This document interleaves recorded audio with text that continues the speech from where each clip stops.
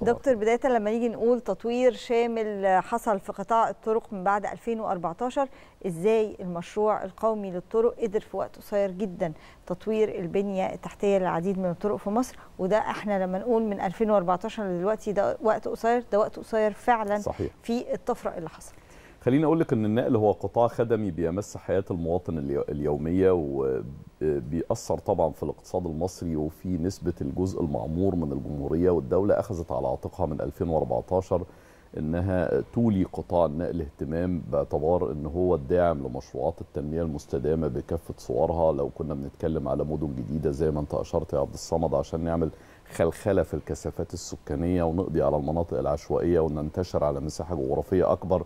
نعم. ونعمل جودة في الحياة وفرص أفضل للحياة والتعليم والصحة وغيرها. كل ده كان محتاج إن أنا أمد شبكة بنية أساسية على مساحة جغرافية أكبر وده جزء من اللي من أجله تم إنشاء المشروع القومي للطرق.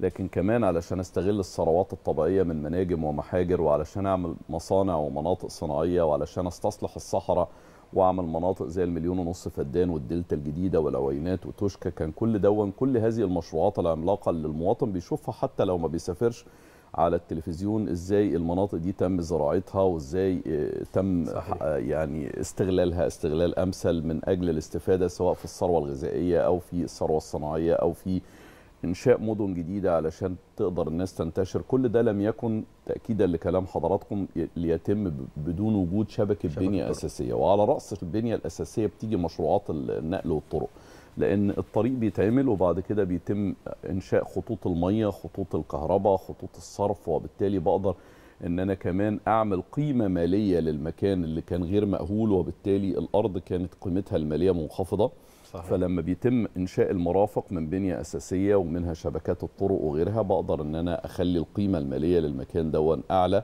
فبجذب استثمارات زي ما حضرتك أشرت لأن النهارده لما يكون في مستثمر داخلي أو خارجي يقول له تعالى أعمل مشروع ومش هديله مرافق طب ما هو مش هيجي لأن صحيح. في دول أخرى بتنافسك وبتدي سواء في الجوار الإقليمي أو على مستوى العالم بتدي مميزات أفضل بتدي مرافق بتدي وس... هديله وسيلة قطعة أرض. مميزة وليكن في الصعيد ولكن مفيش مفيش شبكة طريقه طرق إن أنا أوصل هيطلع إنتاجه إزاي؟ هنقل ال- البضائع من المواني إزاي أوصلها للمصنع بتاعي طب الناس اللي هجيبهم يشتغلوا هيسكنوا فين ده برضو علشان خاطر ال- الدولة دلوقتي بتهتم بكل هذه التفاصيل. يعني النهارده لما بنعمل منطقة صناعية بيبقى فيه اسكان للعاملين في المنطقة الصناعية. بيبقى فيه شبكة طرق موجودة علشان أقدر إن تكامل. أنا أوصل البضائع من وإلى مناطق التصدير والإنتاج وغيره.